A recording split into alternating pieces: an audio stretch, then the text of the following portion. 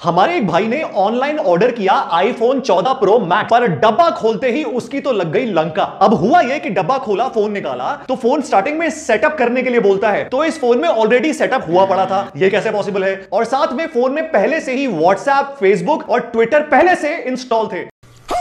साथ में फ़ोन के जो फॉन्ट होते हैं, वो बहुत अलग थे और साथ ही जो सेल्फी कैमरा में पोर्ट्रेट मोड नहीं था। ये कैसे हो सकता है? अब मज़ेदार बात देखो कि भाई जब एप्पल की वेबसाइट पे गया चेक कर दे तो वहाँ पर सब सही बता रहे हैं। लेकिन फिर भी उसे जमा नहीं, वो गया जी एप्पल के स्टोर पे और वहाँ पे जाके उनके बंदे को जब दिखाया तो उसने क्लियर बोल दिया, भैया, ये है नकली। अब हमारा भाई बेचारा एक लाख रुपए से ऊपर खर्च कर चुका है और रिटेलर जहाँ से फ़ोन मंगाया, उसने साफ़ मना कर दिया, जी, मैं कुछ नहीं कर सकता। अब वो बेचारा कंज्यूमर कोर्ट के चक्कर काटने में मजबूर हो गया है। अब आप ही सोचो यार, इतना पैसा लगाने के बाद भी अगर आपकी लंका लग जाए तो क्या सही लगेगा? कॉमेंट में ज़रूर बताना।